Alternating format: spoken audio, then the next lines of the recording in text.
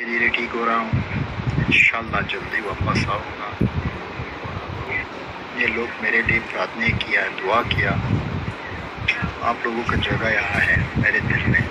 बहुत बहुत शुक्रिया। लेकिन धीरे धीरे ठीक हो रहा हूँ।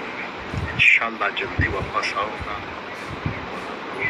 ये लोग मेरे लिए प्रार्थना किया, दुआ किया।